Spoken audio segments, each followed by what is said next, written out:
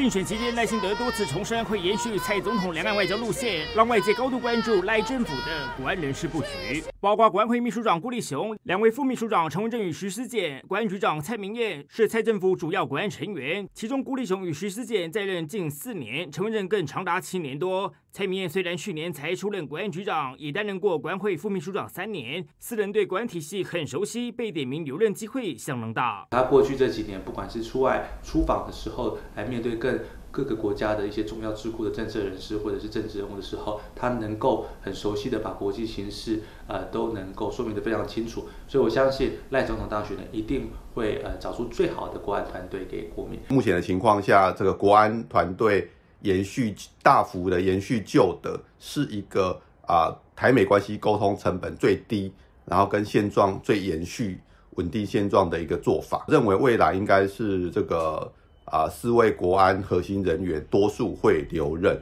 是一个短期的发展方向。数据分析，留任除了延续蔡政府路线，也能稳定台美关系，但也不排除有些微变动。其中，顾立雄就多次被点名，可能接掌国防部。顾立雄先生他之前就已经入阁过，依照他的背景，什么是他离开国安团队以后最适合的去向？我们我是认为说，跟国安相关的部会是。比较合适啦，在国安会议里面长期跟国安部门互动的这些政府的部会是啊，延续顾立雄的这个啊